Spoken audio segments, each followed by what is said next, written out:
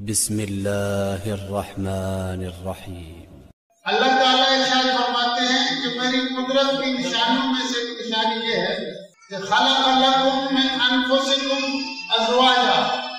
میں نے تم، تمہارے لیے تم میں سے ہی جوڑا پیدا کیا۔ حضرت آدم علیہ السلام سے حضرت حوا کو نکالا۔ پھر ہم دونوں سے یہ کائنات آباد ہوئی۔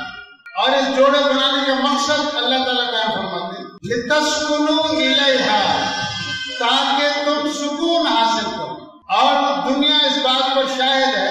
کہ جس جوان جوڑے کا نکاح ہو جاتا ہے، وہ اس رشتے میں بند دیے جاتے ہیں، تو اللہ قدرتی طور پر انہیں سکون دیتا گھر میں بھی سکون، ذہنی طور پر بھی سکون، قلبی طور پر بھی سکون۔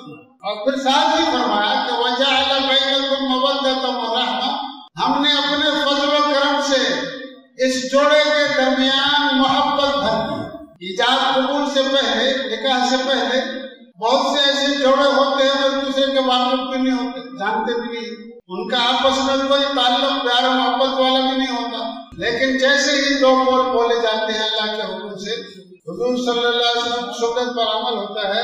تو آپ دیکھتے ہیں کہ پھر وہی جوڑا مرتے دم تک ایک دوسرے پر جان دے۔ تو اللہ تعالیٰ فرماتی ہے کہ میری قدرت کی نشانی ہے اور میں نے اپنے قدرت سے ان کے اندر محبت اور پیار بھر دیا۔